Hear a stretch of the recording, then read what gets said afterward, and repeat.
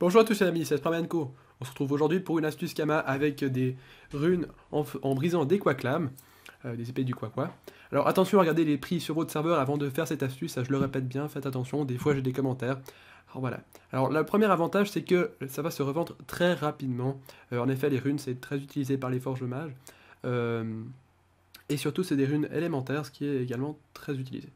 Alors attention au prix des runes qui est variable également, parce que sur mon serveur actuellement elles sont quand même très hautes, d'après ce que j'ai pu constater, donc vraiment n'oubliez pas de regarder sur votre propre serveur, ou même euh, si vous êtes sur le même serveur que moi, Dicrunch, euh, regardez, euh, les prix ont sûrement changé. vraiment, les prix des runes, ça change énormément. Alors pour savoir ici, j'ai fait un total de 10 quack épées, donc pour seulement 10 quack épées, ça va me faire le total, le bénéfice de 350 000 kamas environ. Euh, donc c'est quand même très conséquent pour seulement 10 euh, épées. C'est-à-dire que vous pouvez en faire quand même beaucoup plus, ça prend très peu de pods, ça prend euh, vraiment un nombre limité de pods, genre 10 pods à peine. un autre avantage conséquent, c'est que ça peut faire XP votre métier de forgeron d'épée. Vous pouvez également faire avec d'autres possibilités telles que les autres items de la panneau quack. Mais vraiment les épées c'est en général le plus rentable. Donc vous pouvez XP très rapidement votre métier de forgeron. Oui, c'est une recette 6 cases, vous, vous en faites pas mal avec euh, une assez grande marge de bénéfice, qui peut varier bien évidemment selon le serveur.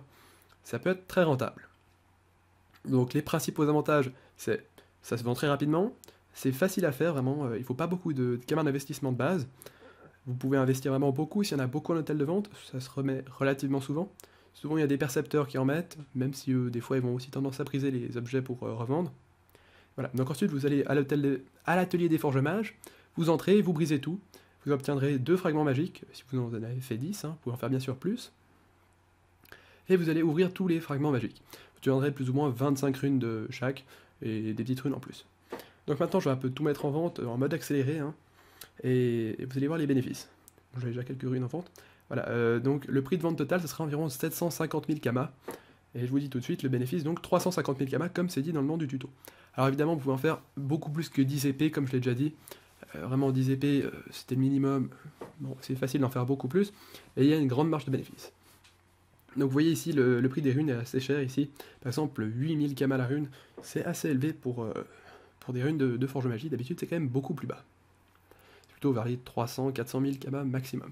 Donc vraiment, regardez sur votre serveur, je ne le répéterai jamais assez. Bon, alors j'espère que cette vidéo vous aura plu, on se retrouvera bientôt pour un nouveau tuto ou autre chose. je pense peut-être sur la prochaine mise à jour qui va relativement bientôt sortir. Je fais une petite vidéo de présentation, etc. Alors, euh, j'espère que cela vous aura plu. C'était Esperma Co.